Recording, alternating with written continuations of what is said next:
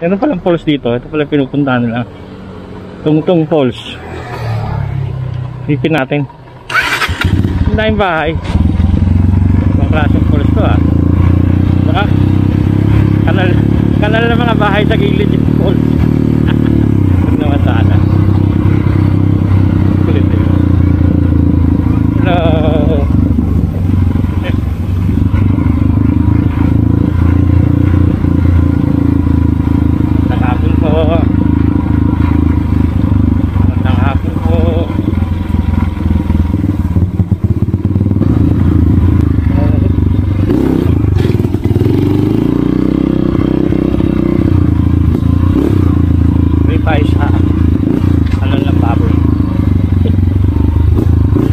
Yung piggery.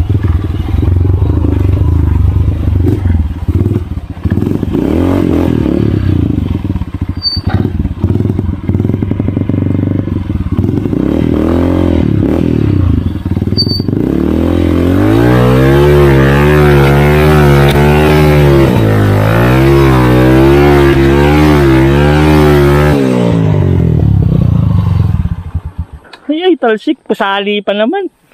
Tayo ng baboy ito, eh, no? Patak naman. Nawala yung tali dito. Lalim pala niyan. Lalim po. Malayo pa yung falls. Dito. Naligo kayo doon? Oo. Opo.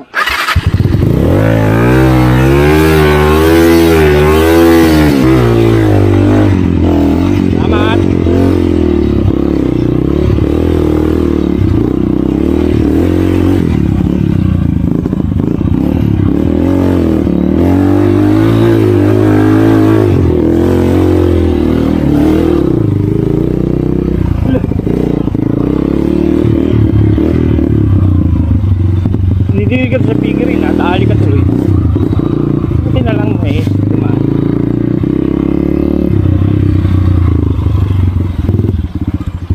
Sa likod ba? Sapit ko sa...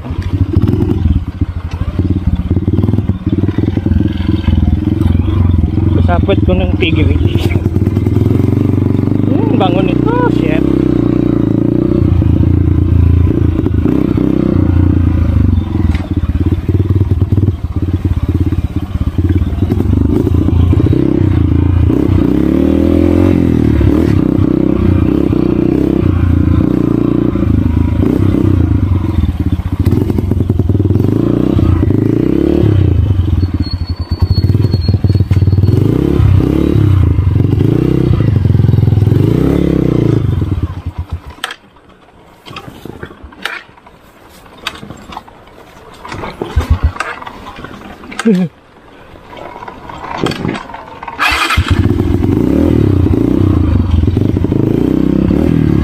Oh.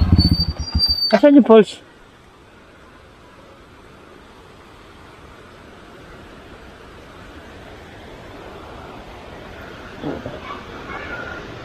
Ha? Ah, yun sa kabila.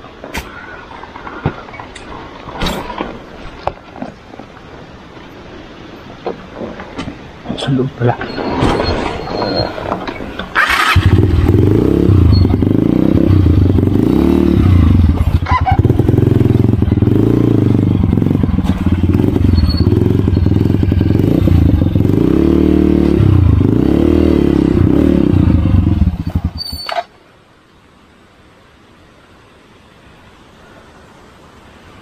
Eh. Gandang hapon po.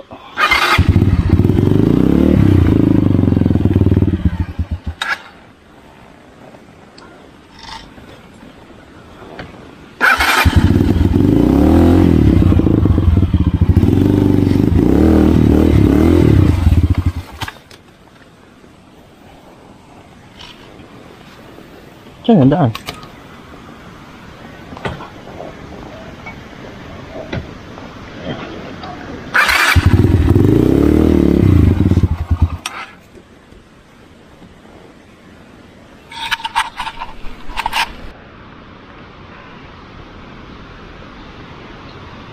Uy, dami tubig kaso malapot.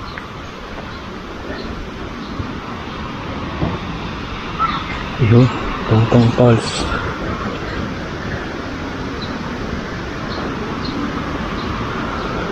Gandang hapon po.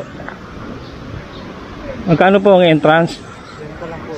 Ah, 30. Ganda oh. Kaso lang tubig yung pool. Puno pa. Ngayon po kasi kalilinis lang po. Ah, ganda. Para sa weekend. Bukas ano? po ng umaga meron. Puno na yan. ah. Hindi po lang po kasi ngayon kasi ano. tag-ulan. Nag-uulan kasi no, mga bundok. Tubig sa bundok. Di ba?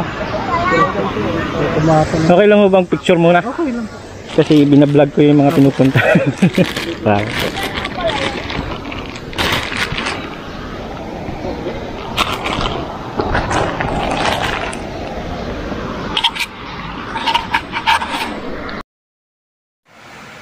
Welcome to Tungtong Falls. Ito na siya. Madalas puntahan ng mga nagbabike sa amin. Unahan pa nila ako makapunta rito. Ayun. Medyo malabo tubig kasi tag-ulan. Tag-ulan, ang tubig galing sa bundok ay brown. Ah, silipin natin. Meron siyang man-made pool. Pinupuno ngayon niya. Dahil sa falls mismo. Obviously, ba't kaya tinawag kong Tungtong Falls? May idea ba kayo? Mga kagala?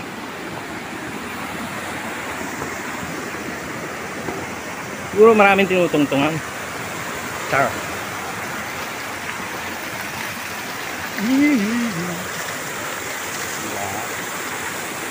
Mali naman tubig.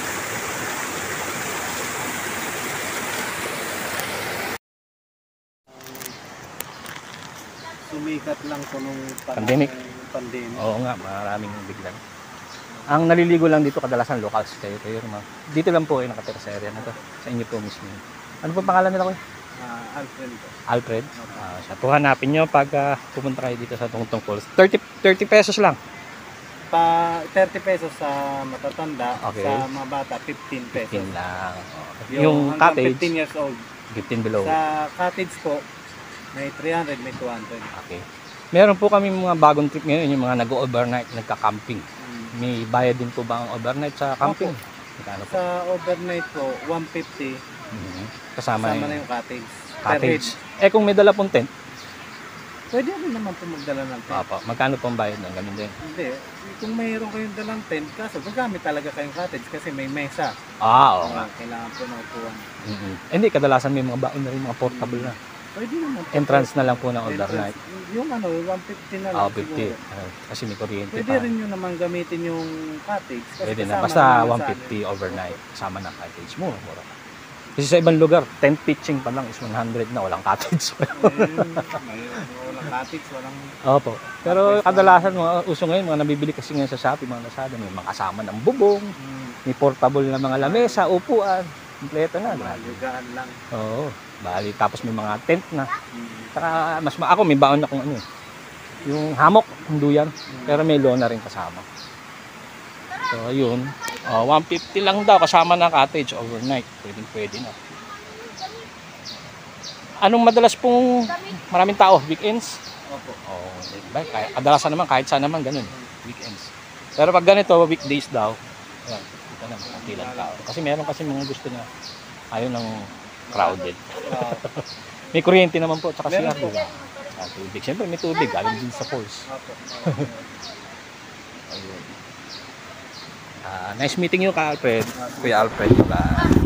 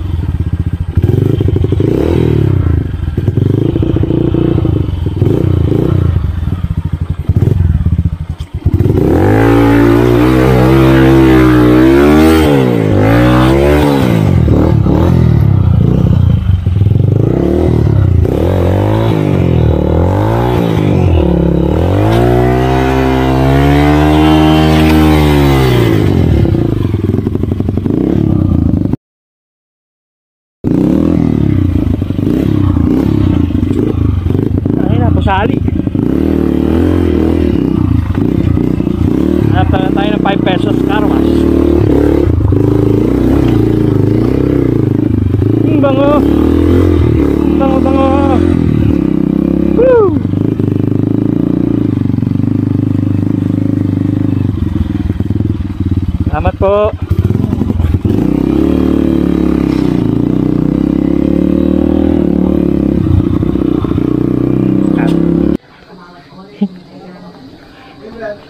Tulong ng langit. Yung bao. Mamaya ko nito.